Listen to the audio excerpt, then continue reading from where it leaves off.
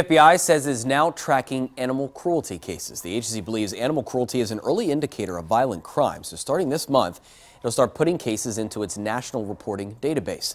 The executive director of the Lancaster County SPCA says the change may also lead to tougher penalties if this tracking information proves worthy, basically we're hoping that on a state level that judges will start to recognize the seriousness of animal cruelty charges and potentially um, pose harsher penalties on criminals.